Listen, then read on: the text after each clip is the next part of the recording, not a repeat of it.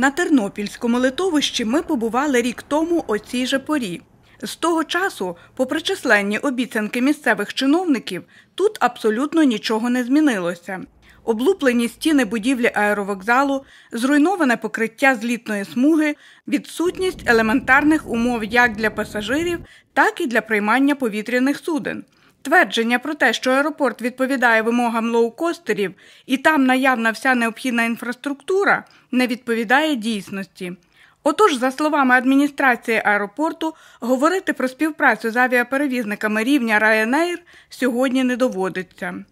Фізично зараз на даний момент це робити з огляду на стан е, аеровокзалу.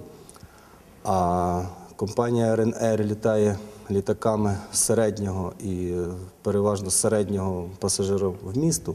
Це 180-220, навіть 250 пасажирів. Тому з малого терміналу це робити е, нашого, який обслуговує 30-40 е, пасажирів за годину, нереально. Можна це робити тільки в приміщенні великого аеровокзалу, в якому ми зараз знаходимося, але який, на жаль, перебуває в незадовільному технічному стані. Термін експлуатації бетонних покриттів 30, 30 років. Ця смуга вже експлуатується, побудована 35 років тому. Неї термін експлуатації вже давно вийшов. Потребує е, серйозних капіталовкладень, потребує ремонту, е, мінімум поточного, а то й капітального, для того, щоб е, нормально експлуатувалося і безпечно. Неякісні матеріали були заложені при заливанні цієї ж полоси. Я не знаю, як вона там робилася, це було дуже давно. І в нас йде лущення. Йде лущення, йде виліт е, щебня. Це не допускається. Технічний стан е, зараз нашого підприємства в заходах авіаційної безпеки, я вам скажу, що він знаходиться на дуже низькому рівні. Наприклад, е, огорожа, е, периметр огорожі, який складає е, 12,5 кілометрів. Огорожа була ще зроблена ще десь в районі 84-85 років. І на той, ста- на той час, можливо, вона і відповідала якимось технічним вимогам, але теперішні вимоги, які ставить якраз міжнародні стандартні міжнародна організація ІКАО, висота повинна бути е, не менше 2,15, е, 2,45 е, метра.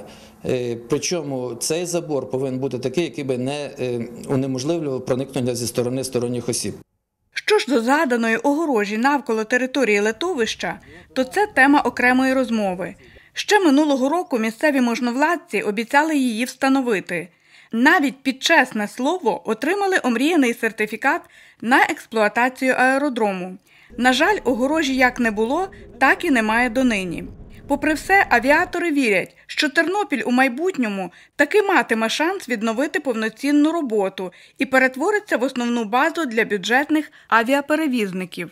На сегодня мы не готовы принять эту компанию. Если говорить на перспективу, то мы можем принять, если бы мы, мы смогли продлить наш аэродром на 300-500 метров. Должен быть зал для приема пассажиров. Должна быть служба перевозок. Она сегодня у нас практически отсутствует. Надо принять людей, обучить, эм, дать им стажировку в аэропортах. И этого было бы достаточно, чтобы подать в департамент документы и получить от них разрешение. И тогда уже в нашем сертификате будет написано «Аэропорт способен к коммерческим перевозкам». В адміністрації аеропорту кажуть, що готові зробити все задля того, аби литовище запрацювало на повну потужність. Однак без фінансової підтримки і доброї волі місцевої влади справа з місця не зрушиться.